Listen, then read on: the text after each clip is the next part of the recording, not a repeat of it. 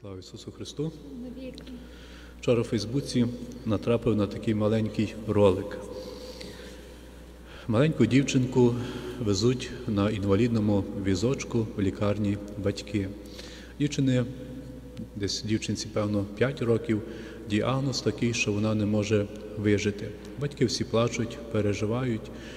І назустріч везуть також на інвалідному візку в'язня, на ручниках, скований. І ось вони зустрічаються. І ця дівчинка каже: зупиніться. Вони зупинилися, дивиться на в'язня і каже, що з тобою? Він каже, та я каже, маю помирати. А чому ти маєш помирати? Каже, бо в мене нирки відказують, каже, і нема нікого, хто би дав мені свою нирку, щоб я жив. Якщо би хтось дав, каже, то я би жив. А чому ти в наручниках?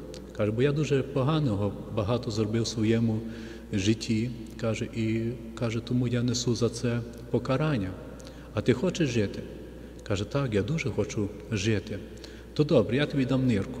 Ну, батьки почали сміятися, лікарі теж, які супроводжували, і вони розійшлися. І потім, коли дівчинка лишилася з батьками, вона почала почала їх просити. Каже: А якщо я віддам одну нирку, каже, чи каже, я буду жити? Каже, так, ти будеш жити. А він буде жити? Так, він буде жити.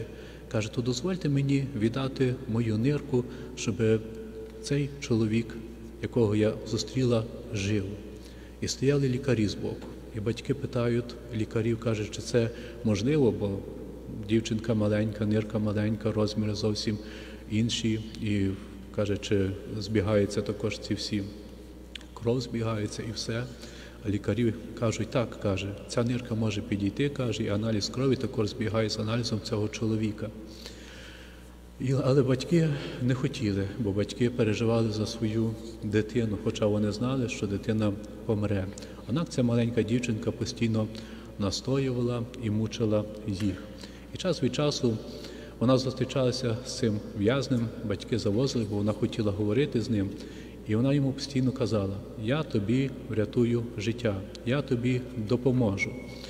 Він каже, так, каже, я буду тобі дуже вдячний, хоча він в то не вірив, але він казав, каже, а як каже, ти будеш жити, каже, ти вийдеш з в'язниці. Він каже, так, я вийду з в'язниці. А як ти вийдеш з в'язниці, чи ти підеш в свою сім'ю, адже ти маєш жінку, ти мені розказував, ти маєш дітей. Він каже, я не знаю, каже, бо я їм зробив дуже багато зла. І я не знаю, чи вони приймуть мене в сім'ю. Ти не переживай, ти будеш мати життя, ти вийдеш з в'язниці, ти йди додому, попроси пробачення. Тобі всі пробачать, і ти будеш тішитися, і живеш щасливо. Я тобі віддаю свою нирку. І тут така завіса, ніби батько з матір'ю плачуть, бо дочка таки, маленька ця дівчинка померла.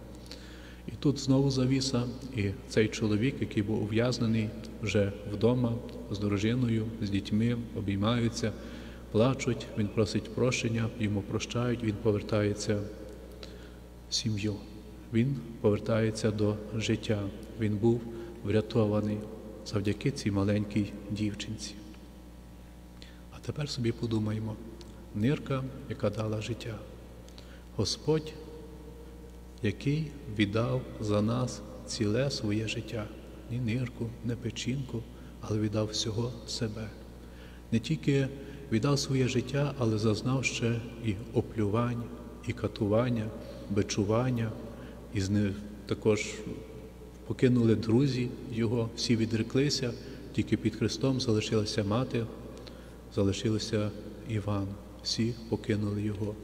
Однак відзнав, що віддаючи своє життя, Він дає Його, щоб кожен з нас мав це життя вічне.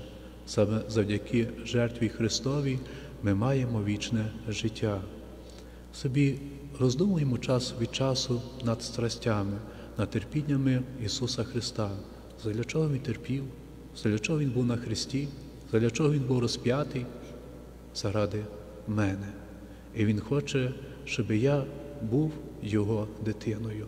Він хоче, щоб я жив тим життям вповні, в радості, в любові, і щоб я цією любов'ю, цією радістю ділився з іншими.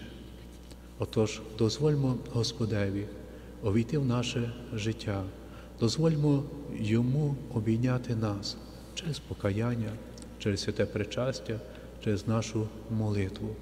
Довірмо йому наше життя, а він же знає, що з ним зробити. Амінь. Слава Ісусу Христу!